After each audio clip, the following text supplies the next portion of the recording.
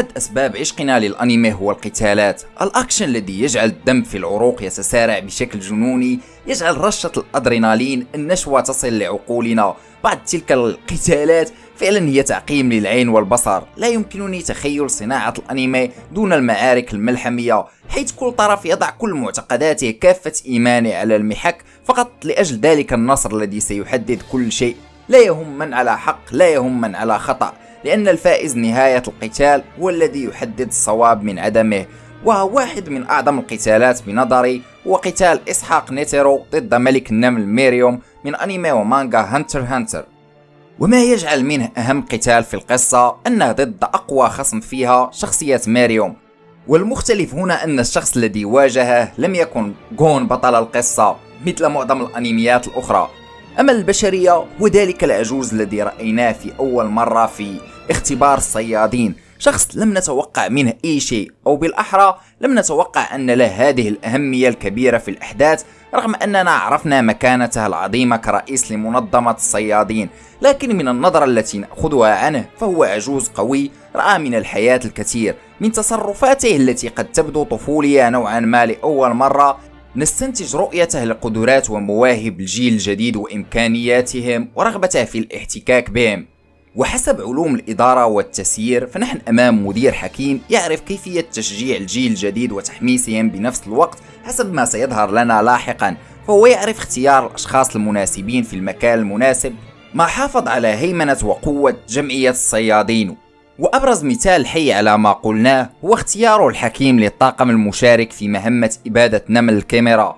نيتيرو ليس مجرد شخصية قوية فقط بل هو إداري ناجح قدوة لكل شخص تحته. وفي الجهة المقابلة لدينا ميريوم ملك النمل قمة التطور لجنس نمل الكيميرا. مخلوق قد ولد ليسود فوق كافة المخلوقات الأخرى. نظرته للبشر احتقارية بالكامل إذ يراهم كمجرد علف ويرى أن دورهم في الحياة قد ولى فما أحلوه بهذا الكوكب؟ ليس سوى الخراب وقتل بعضهم البعض.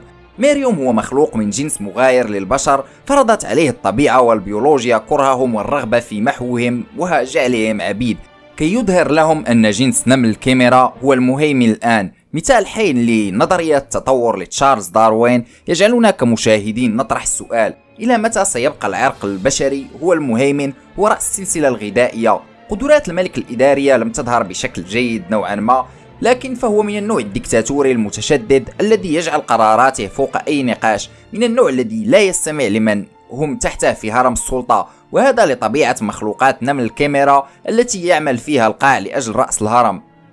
العظيم في قتالات هانتر هانتر أنها ليست مجرد قتالات فقط لأن هذا خير ضد شر فهي قتالات معتقدات حياة كل شخصية موضوعة فيها على المحك خصوصا في arc النمل الذي يمكننا أن نسميه ب arc إما نحن أو هم. هذا القتال يخفي في طياته أكثر مما يبدو لك في أول وهلة. وأتذكر جيدا صدور حلقاته بشكل أسبوعي وكيف كان يهز الساحة. أعدت هانتر هانتر عدة مرات. في كل مرة كنت أكتشف في معركة نيتيرو وملك النمل أشياء جديدة لم ألحظها من أول مشاهدة. فهذا ليس مجرد صراع عادي بل صراع أيديولوجيات صراع أفكار صراع نجاة صراع بقاء صراع لمحاولة فهم الطرف الآخر. فالمختلف كثيرا في هذا القتال أنه لم يكن مجرد استعراض للتقنيات بل أشبه بمعركة شطرنج بين لاعبين. كل هجمة عبارة عن حركة تحاول الاقتراب فيها أكثر من ملك خصمك لتقطع رأسه. وخلال القتال على كل واحد منهما أن يقيس قدرات خصمه كي لا يحصل أي سوء تقدير. بنفس الوقت كي لا يمنح أي أفضلية تقلب الوضع رأس على عقب. كل حركة ومهما بدت عشوائية من كلا الطرفين مدروسة تماما عبر محاولة البحث عن أصغر ثغرة وبنفس الوقت تحليل نمط دفاع وهجوم الخصم.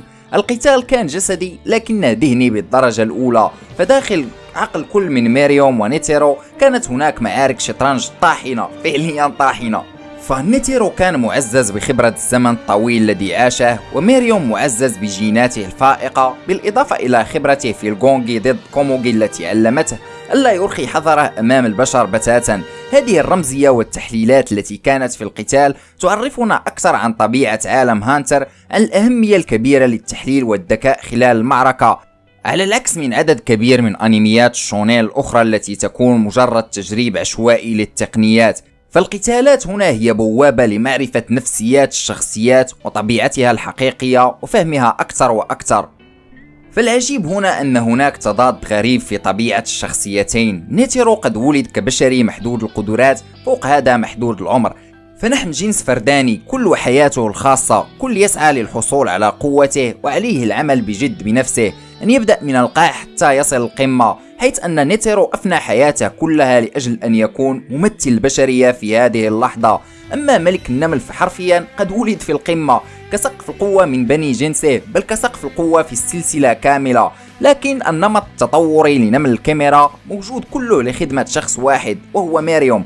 يمكنني أن أشبه هذا القتال بصراع بين ملك ولد وجد نفسه في قمة السلطة دون أن يفعل أي شيء وعبد من قاع رعاع القوم عليه النهوض والقيام بثورة. هذا القتال لم يكن متكافئ وعادل من الدقيقة الأولى. الكل الفرد هو ما يمكننا أن نصف به نمل الكاميرا فكلهم يعيشون لأجل ملك النمل ولأن يقودهم للسيطرة والهيمنة. والفرد للكل هو الوصف المناسب للبشر فعينات بسيطة من البشر هم من سيواجهون هذا العدو الجديد وهم يعرفون أن فرصة النجاة شبه معدومة من بينهم كان نيتيرو وكل من الجنسين مستعد للتضحية بنفسه لأجل القضاء على خصمه لأجل بقاء النوع. لعل الملك في بعض اللحظات أظهر احترامه لقوة البشر عرف أن بعضهم لا يستحقون الموت لكن رغم ذلك كان سيجعلهم مجرد خنازير في مزرعة. أما نيتيرو ومن أعماقه كان يحتقر هذه النملة.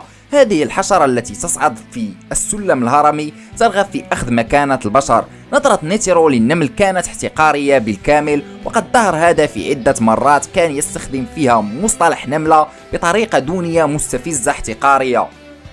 إذ يمكنني أن أصف شخصية هذا الأخير بأنه أقرب للرهبان البوذيين. الناس التي تتخلى عن الحياة المادية في سبيل التنوير تسلك طريق الزهد لأجل بلوغ السكينة. الفرق أن نيتيرو قد قرر أن يتخلى عن ملذات الحياة أن يسلك طريق الزهد في سبيل بلوغ القوة الحقيقية. نيتيرو أراد أن يعرف إلى أي حدود يمكن للإنسان الوصول. وفي الفلاش باك الخاص به رأيناه وهو يعتزل الناس في أواسط الأربعينات.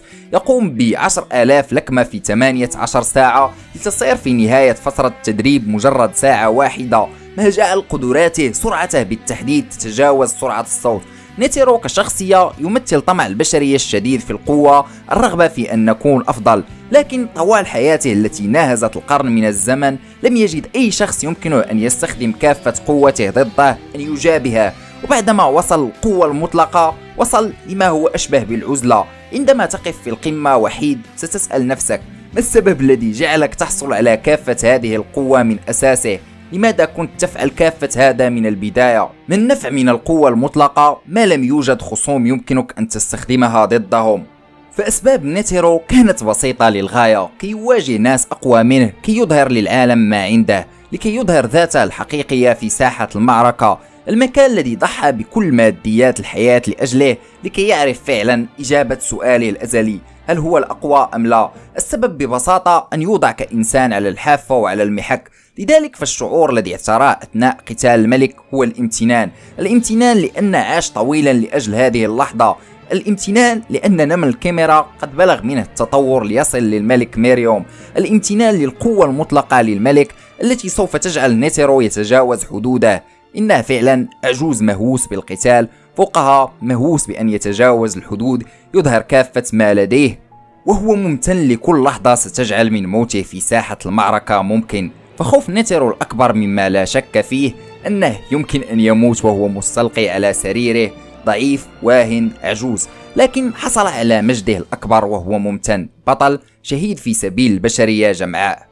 فنيتيرو لم يكن مستعد بتاتا للحوار مع ميريوم والتفاهم معه إذ يراه كتهديد يجب محوه ولو عنى ذلك التخلي عن حياته. بل أنه أتى عازم على الموت. نيتيرو لم يأتي للقتال بقدر ما أتى لمهمة اغتيال وهو يعرف ما ينتظره تماما. أكثر ما يقدره نيتيرو في البشرية هو القدرة على التطور على تجاوز الصعاب. لذلك فهو مملوء أيضا بالانتماء والفخر لأنه قد ولد بشري. الشيء المضحك في هذا القتال أن النملة المخلوق الذي من المفترض أنه غير متحضر هو من لجأ للغة الحوار.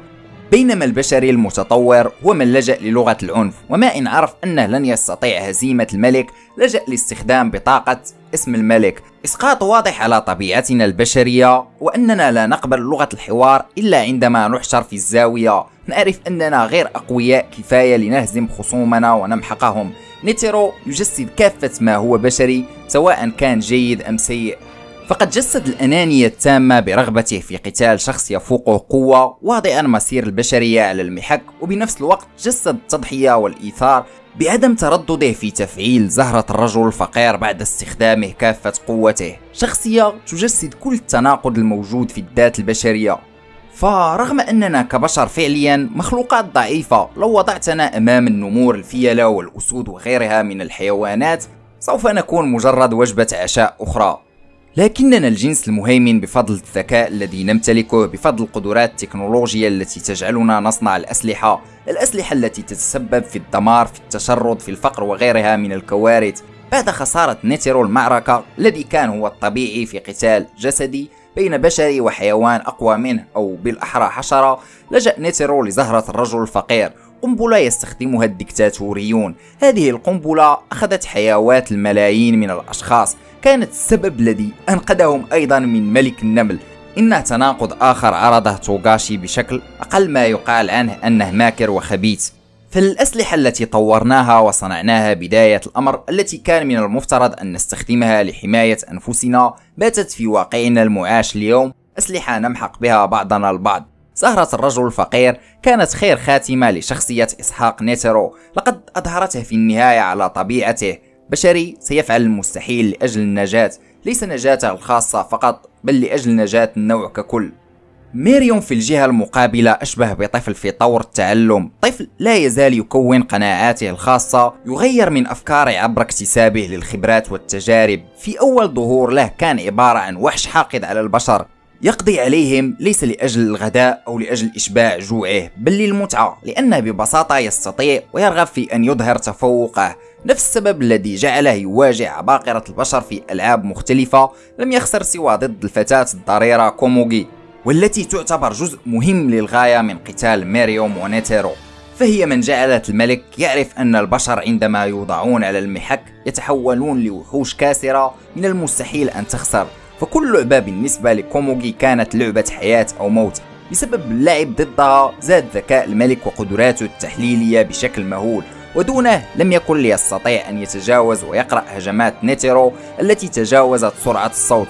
هذا القتال أكد كذلك للملك الرعب الحقيقي للبشر جعله يخاف لأول مرة ويفهم السبب الذي جعل هذا الجنس الضعيف عديم الفرو والحراشف يهيمن على العالم. فهناك سبب كبير لرغبة ميريوم في معرفة اسمه وقبوله القتال فقط عندما استخدم نيتيرو هذا كورقة ضغط. فميريوم يرى أن النمل مخلوقات أسمى لكنه لم يمتلك لهذه اللحظة اسم ما جعله مجرد ملك فقط مجرد شخص محظوظ شاءت الصدف أن يقف على قمة بني جنسه. لم يكون شخصيته بالكامل لا زال في طور التعلم. إن حاجته لاسم تعكس حاجته لهوية لكي يعرف نفسه بها للغير. ليس فقط ملك النمل بل ميريوم الشخص. دوافع ميريوم كانت مختلفة تماما عن نيترو. فقد قاتل لأجل أن يكتسب حقه في أبسط حقوق الحياة مجرد اسم. فهذا القتال دوافعه أنانية محضة ليس بقتال خير ضد شر لأن وجهة نظر كل من الطرفين صحيحة. نترو امتلك القدرة على استخدام القنبلة من البداية لكن رغبته في خوض معركة تجعله يصل الحافة كانت أقوى بكثير من تفكيره في مستقبل البشرية. ميريوم الذي كان بوسعه أن يقتل نيترو في عدة مرات لم يفعل فقط لكي يعرف ما هو اسمه حقا. ميريوم يقاتل لكي لا يقتل خصمه لكي يستخرج المعلومة من نيتيرو بينما هذا الأخير يقاتل وهو يعلم أن لا خيار آخر أمامه غير موت الملك المتجبر الذي يواجهه. قتال كله أنانية ودوافع شخصية من الصعب ملاحظتها عند المشاهدة الأولى. قتال كله تناقضات بين الشخصيتين. الكاتب توغاشي وضع رمزية عبقرية وهي تحول الإنسان لوحش وتحول الوحش لإنسان. فقد كان هذا القتال شاهد على ملحمة حصول ميريوم على اسمه حصوله على صفة الإنسانية إذ أنه عبر القتال أظهر الاحترام للخصم رغب في الحوار أراد إنهاء الأمر بسرعة ليعود لكوموغي. في جهة أخرى فغون قد تخلى عن إنسانيته تماما. في سبيل الانتقام استهلكه الغضب العارم كل هذا ولم يلتقي أي منهما بالآخر. ما جعلني أعجب كثيرا بالجوانب الرمزية الخفية التي لم ألاحظها عند أول مشاهدة. غون لم يكن بالنضج والقوة الكافية التي تسمح لشخص مثله أن يخوض هذا القتال لذلك اختار الكاتب نيترو أيضا هذا القتال قد أظهر لنا سقف القوة في العمل الذي من الصعب أن تصله أي شخصيات لاحقا. السبب كي يريك توغاشي ويظهر لك القدرات الكاملة للنين. بنفس الوقت يجعلك تنتظر قتالات مماثلة في المستقبل ولا تسحب على أم القصة. فقتالات مثل هذه تجعلك تدخل مع الشخصيات في معتقداتها تجعلك ترى أن كل نقطة من حياتها قادتها لهذا الحدث المصيري. ليس العظيم في هذه المعمعة هو مستوى القوة الجنوني الذي لم نره قط في هانتر هانتر لا التقنيات المستخدمة وحتى طريقة تحليل الخصم بل كيف أن شخصين مختلفان تماما كل منهما يقاتل لأجل غاياته الخاصة كل منهما يقاتل بطريقته الخاصة. كل منهما مصير جنس كامل موضوع على عاتقه. مثل هذه القتالات هذه اللحظات هي ما جعلت من هانتر هانتر تحفة في تصنيف الشونين. من النادر أن تجد مثيل لها.